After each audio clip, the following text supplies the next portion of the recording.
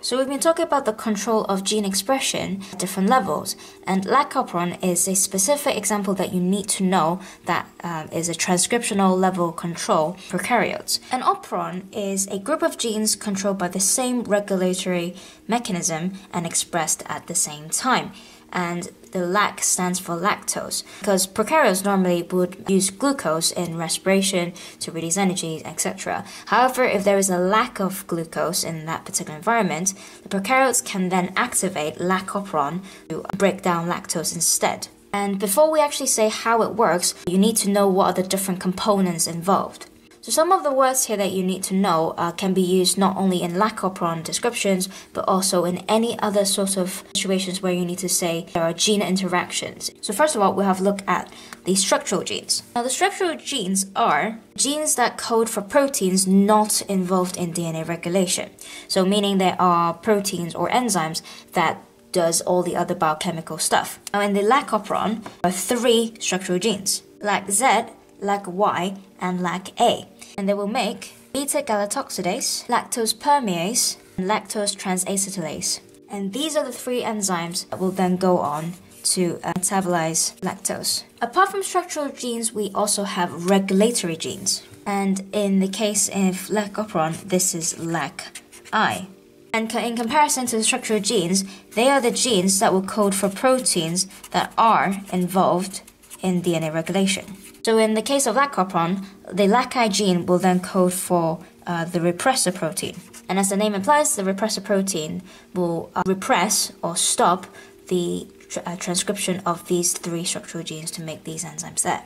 Then we've got two more other sections within the lac operon that you need to be aware of. And the first one is called operator, and the other one is called the promoter. And the operator is a DNA sequence that is right next to the promoter, and it's the site on the lac operon where the repressor protein binds. Whereas for the promoter, which is right next to the operator, uh, it is also a DNA sequence, but this is where the RNA polymerase will bind. So basically, the binding of these two particular proteins will uh, change or affect if the uh, transcription can actually happen. And that is the overview of the different players in the lac operon. And now we'll go on to have a look at actually how they interact to uh, make things work. Now, if we draw the lac operon, this is what it looks like. So we got the uh, LACI gene, which codes for the repressor protein, and then we've got the operator, uh, the promoter, and the three structural genes there. So let's say in a normal situation we get glucose uh, for the prokaryotes to actually uh, metabolize respiration for energy. And the LACI gene there is going to code for the repressor protein. And when the repressor protein is expressed, it will then bind to the operator, like that. It's quite big, so it will block the binding site of RNA polymerase, to the promoter. So in that sense, the RNA polymerase there cannot bind to the promoter to start the transcription process. And that is our normal situation when we've got lots of glucose in. So let's say if there is no more glucose, then the E. coli or the prokaryote will have to metabolize lactose instead. So the lactose will then go up to the repressor, binds to it, and this binding is going to change the conformational shape of the repressor protein and turn it into something like this. So as you can see, uh, the repressor protein can no longer bind to the operator because of this shape change, and therefore it will then move away, revealing the binding site of promoter, and therefore the RNA polymerase can bind to it, and that will allow transcription to happen. Apart from the fact that RNA polymerase can now bind, uh, we can also find ways to make it work even more efficiently. So, CAMP receptor protein. First of all, it needs to be some well, sort of think of it as activated by CAMP by the, through the binding of it, and the, this complex will then move to bind the RNA polymerase there, and this regulates the transcription of the structural genes. So then, therefore, this whole big complex here will then move across to uh, transcribe these genes. So when it gets to that gene, it's going to make galactosidase, and it moves further along, and then it will make lactose permease. Then it can again move along to lac, and it makes lactose transacetylase. These three enzymes will then go on metabolize lactose and use it in respiration to release energy. So let's say after a while, uh, glucose is once more becoming available, And because prokaryotes prefer glucose more than lactose, and therefore the lactose is going to release the repressor protein and change its shape once more, because therefore the repressor protein can then bind to the operator again.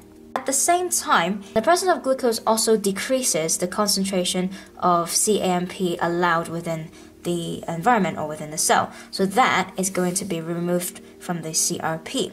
And because of that, CRP sort of loses its function because it can only work if CAMP binds to it. So that goes out of the picture once more.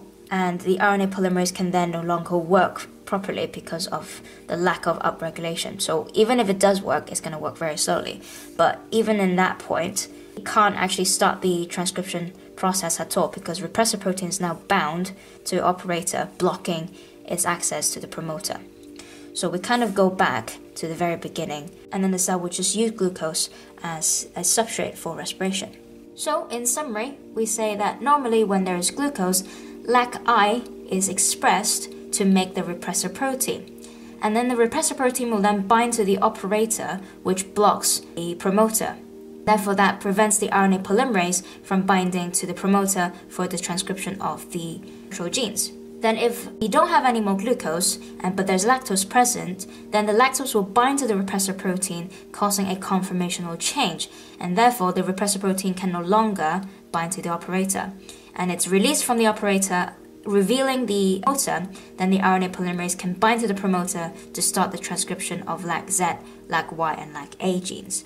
And there is a CAMP receptor protein uh, called CRP and it forms a complex with CAMP or cyclic AMP, which upregulates the RNA polymerase action, which makes the transcription of these structural genes much quicker and much more efficient. However, if there is glucose present again, the cell prefers glucose over lactose. Glucose will downregulate the concentration of CAMP within the cell, therefore downregulates the RNA polymerase upregulation, and therefore stops the lac operon structural genes from being expressed. At the same time, lactose will then be released from the repressor protein, uh, and the repressor protein can once more into the operator, preventing RNA polymerase being bound to the promoter to start transcription again. And that is the summary of the lac operon.